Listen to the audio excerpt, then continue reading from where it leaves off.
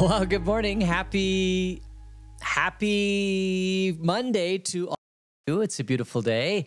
74 degrees, not a cloud. Well, there's a few clouds in the sky. And last night was the full moon. We couldn't see it because of the storm that came through. I don't know if you got a storm, but we got a humdinger of a storm. And then that storm went through.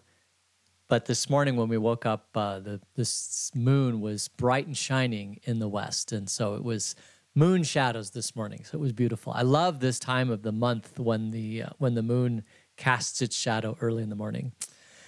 And let's see. So, any exciting news over the last time? Oh yeah, I finally had uh, my grandchild was born.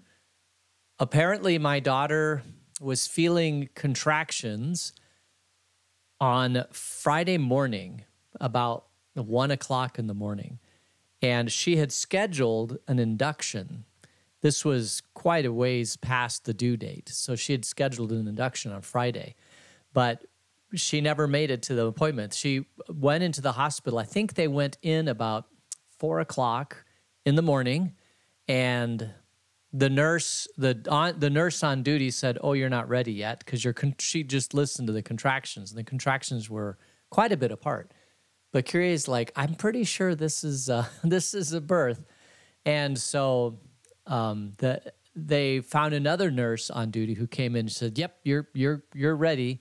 So they they brought her into the hospital. They gave her an epidural, and then uh, I think by ten o'clock in the morning or noon, I'm not entirely sure of the time because there's a time difference, but um, we we found out that she gave birth and it's a healthy baby boy. It's nine pounds, five ounces. My daughter is five foot four, five foot six. I don't know. My daughter's very tiny, 100 pounds. And so it's like a tenth of her body weight in a baby.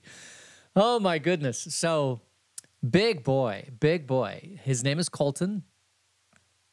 Colton McKenzie. And uh, the McKenzie is interesting. McKenzie is one of those names that's uh, boy or girl. Apparently, the spelling is different if it's a boy or girl. But my daughter, my my wife's brother, his name is Todd. Um, has a child named Mackenzie, and, uh, and when she was 18, she went to live with Jesus. Um, so, and Mackenzie and my daughter Kyrie were very, very close growing up. So, that was um, uh, probably always on her mind to use Mackenzie somewhere in her kids' names. And uh, so obviously, my my brother-in-law and his wife, my brother and sister-in-law, uh, are excited about that and uh, honored to remember to remember a remarkable young woman, Mackenzie. Um, and she was a ballet dancer, uh, and she even came in and did some liturgical dance at our church once when she was maybe 16 years old or something like that, 15 or 16 and uh, it was really quite beautiful. She wore a white dress and just danced on stage. It was really quite quite remarkable. Um, let's see. So that was the most exciting thing that happened in our weekend. So Friday we were so excited to learn that we had a new grandchild. By the time we, we saw a few pictures and then she got home and uh, and now the baby's at home. So we've done some FaceTiming with our daughter and seen the baby and she seems to be doing okay. The uh, the obviously she's on painkillers, but as far as as her health goes, she says I'm I'm doing pretty well. I mean, you know after pushing a bowling ball out, um, she's doing you know as well as any of us would do. So she's she's at home. She's with the baby. I think she has a doctor's appointment today just to make sure.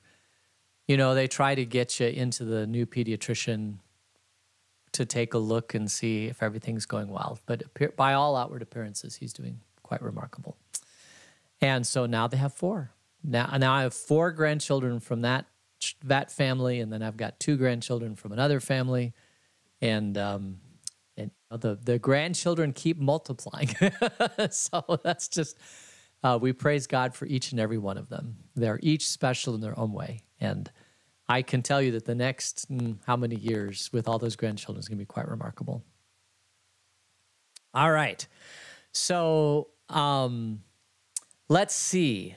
I think Um, anything else? Just beautiful. Yeah, we had that rain. Well, I had rain. Apparently, not everyone had rain, but we had quite a humdinger of rain.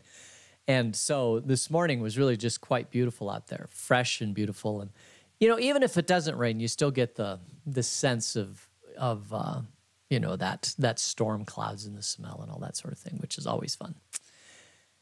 Um, let's see. Let's go to birthdays. We have a remarkable birthday this morning. We celebrated it yesterday with a cake in church, and that's Dick Phillips. Happy birthday, Dick. Today is your birthday, and we praise God for um, bringing you into this earth. Mm, how many years ago? more than we more than we can count, but uh, but we we're we're grateful for all of that. And then I believe Jordan is it Jordan Hilden that has a birthday today too? Yeah, Jordan Hilden has birthday today. So you're you have birthdays with her. And uh, we praise God for you, and uh, we're thankful for you, and may you have a great day. So let's see what else. I think that's about it. Let's go ahead and get into our study. We are towards the tail end of the reign of King Solomon. And we're going to find out today that uh, Solomon doesn't always uh, go through life without enemies or people who want to have rebellions against him. so today we're going to learn about a few of them. And we left off in verse 25 last time, so we'll pick up here in verse 26 of 1 Kings chapter 11. Also, Jeroboam, son of Nebat, rebelled against the king. He was one of Solomon's officials, an Ephraimite from Zeredah, and his mother was a widow named Zeruiah. So we don't know a whole bunch about him. It's Jeroboam, son of Nebat. He rebelled against the king. He was one of Solomon's officials, so not in the line of him. Uh, and he was an Ephraimite from Zeredah, that's to the north, and his mother was a widow named Zeruiah. Now, here, verse 27, here is the account of how he rebelled against the king. Solomon had built the terraces and had filled the gap in the wall of the city of David, his father. Now, Jeroboam was a man of standing, and when Solomon saw how well the young man did his work, he put him in charge of the whole labor force of the tribes of Joseph. So the tribes of Joseph are to the north, and apparently he was an official, and he was put in charge of filling the gaps in the wall of the city of David, his father.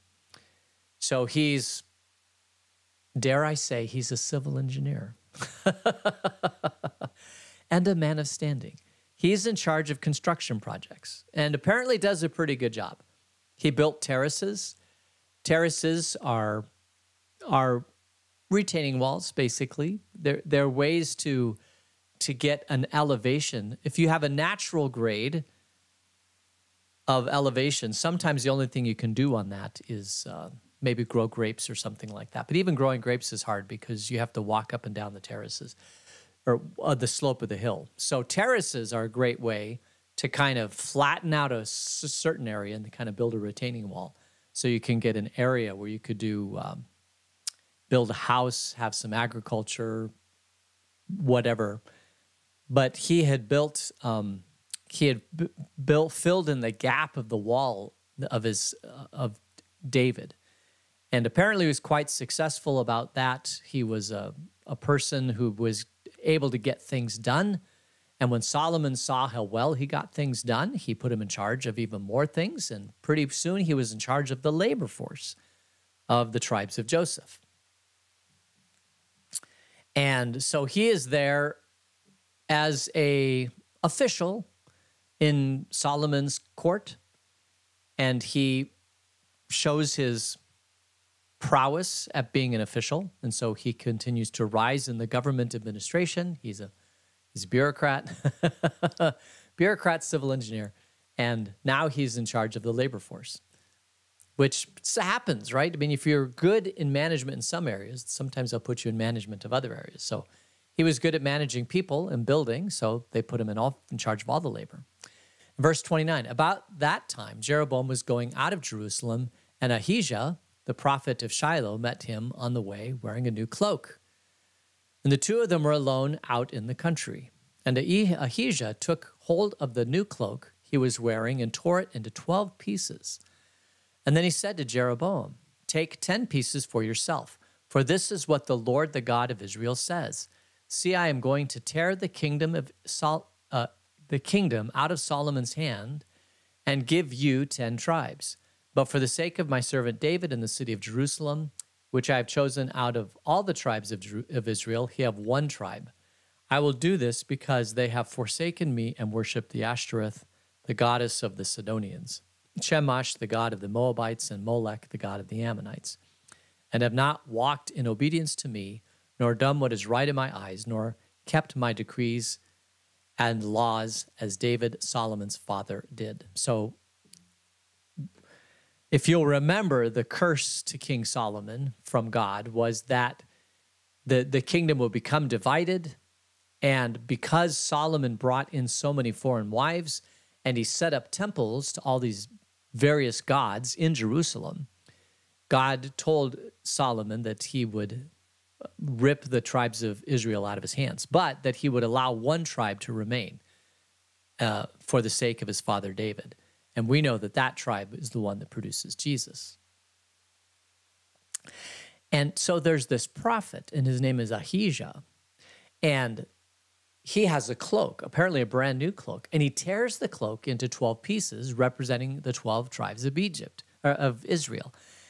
And he says to Jeroboam, he gives him 10 pieces, and he says, These are going to be your 10 tribes, and you're going to rule over them because the kingdom is going to be torn asunder and Solomon will only have the Solomon and his descendants will only have the south tribes.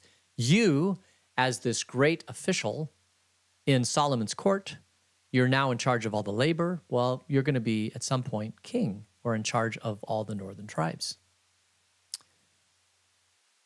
Uh, Ahijah continues on. He he's um, he's continuing, but I, he's continuing to quote God. But I will not take the whole kingdom out of Solomon's hand. I have made him ruler all the days of his life for the sake of David, my servant, whom I chose, and who obeyed my commands and decrees. I will take the kingdom from his son's hand and give you ten tribes. I will give one tribe to his son, so that David, my servant, may always have a lamp before me in Jerusalem, the city where I chose to put my name. However, as for you, I will take you, and you will rule over all that your heart desires. You'll be king over Israel. If you do whatever I command you, and walk in obedience to me, and do what is right in my eyes, by obeying my decrees and commands, as David my servant did, I will be with you. I will build you a dynasty as enduring as the one I built for David, and will give Israel to you. I will humble David's descendants because of this, but not forever. So Solomon is being told by this Ahijah that he will be uh, put in charge of the northern 10 tribes. And the northern 10 tribes,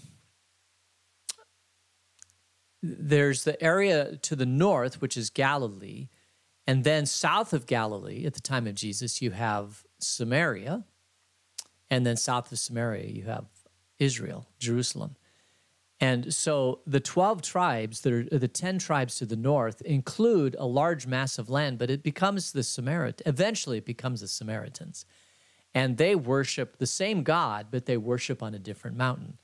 And the northern tribe and the southern tribe eventually become Israel and Samaria.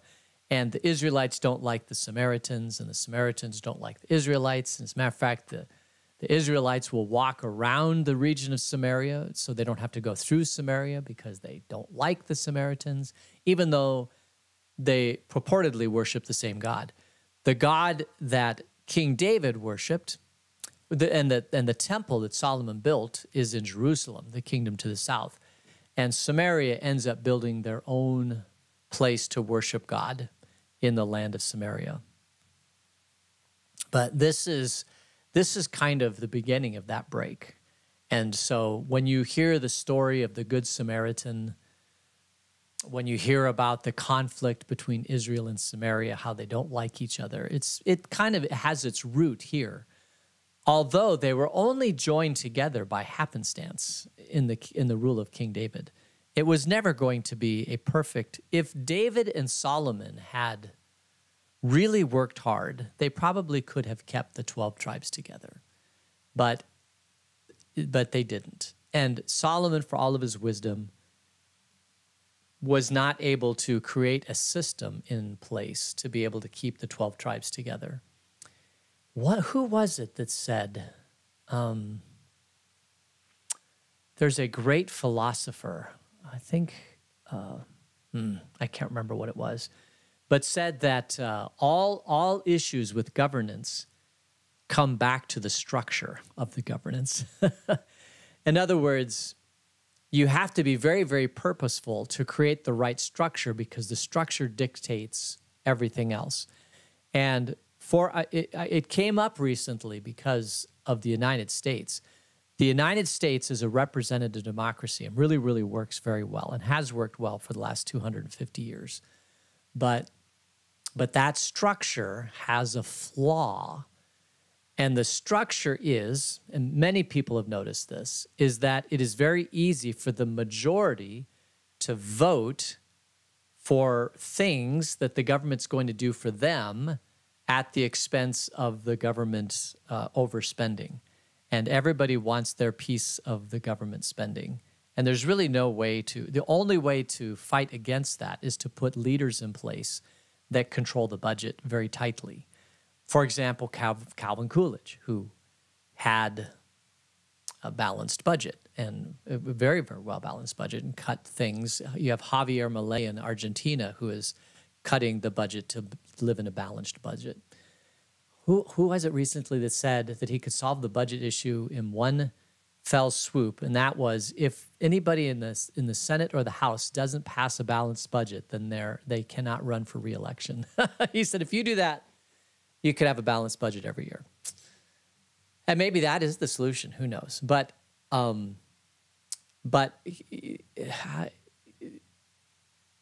Jerusalem is going to become a divided city, and and Solomon could have put in a structure in place by which the the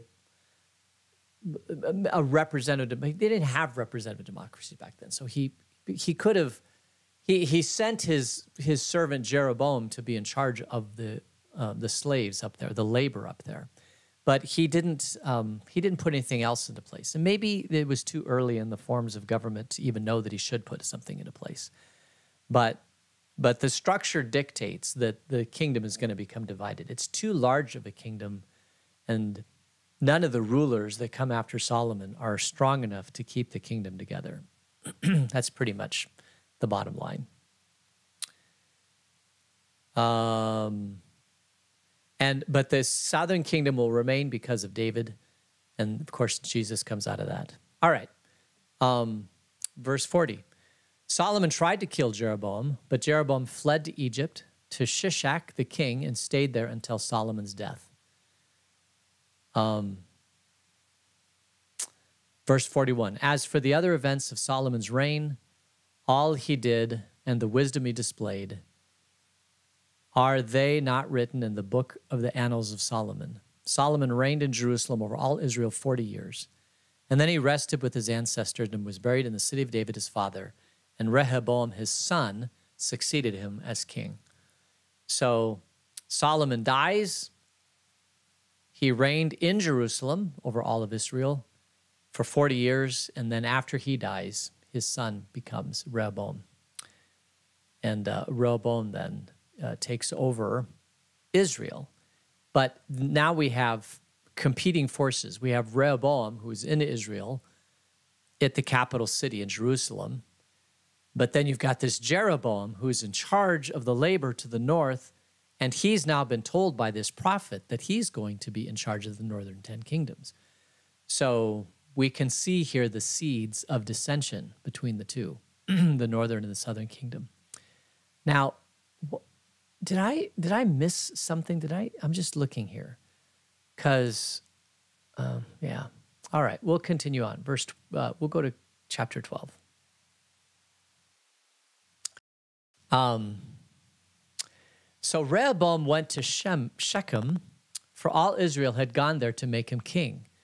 And when Jeroboam son of Nebat, heard this, he was still in Egypt, where he had fled from King Solomon. He returned from Egypt, so they sent for Jeroboam, and he and the whole assembly of Israel went to Rehoboam and said to him, Your father put a heavy yoke on us, but now lighten the harsh labor and the heavy yoke he put on us, and we will serve you. And Rehoboam answered, Go away for three days and then come back to me. So the people went away. Then King Rehoboam consulted the elders who had served his father Solomon during his lifetime. How would you advise me to answer these people? They replied, If today you'll be servant to these people, if today you will be a servant to these people and serve them and give them a favorable answer, they will always be your servants.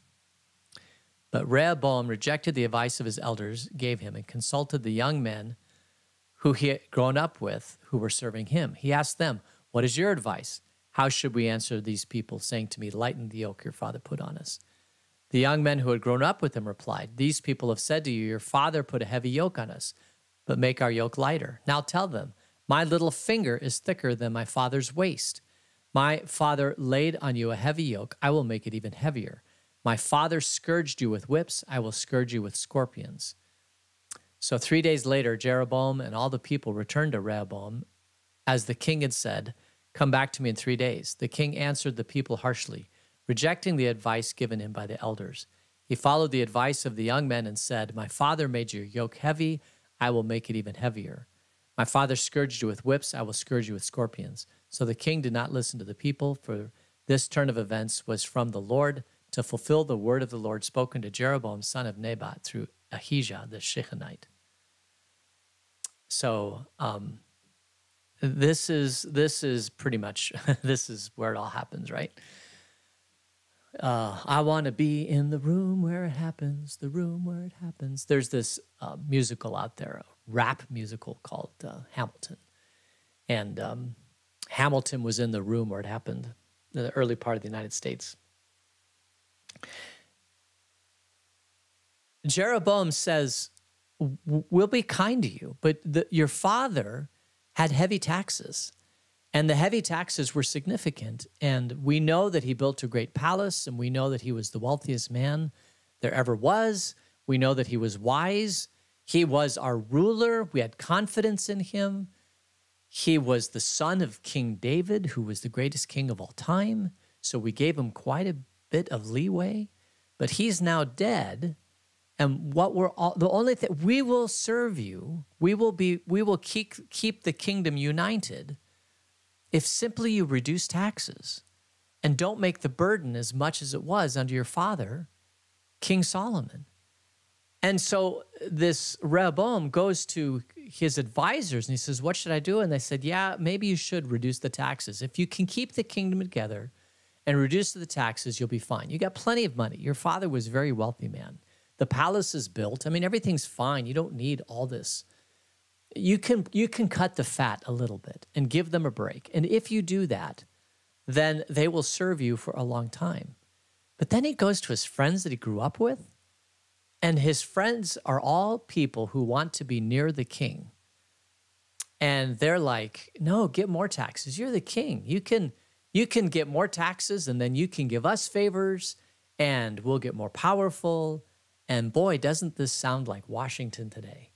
It, it it's and every country, right? Every ruler of every country wants more and more and more and more taxes because the more taxes that you get, the more things you can do, and the more people you can give the money to, and then you'll get money and donations to win the next election.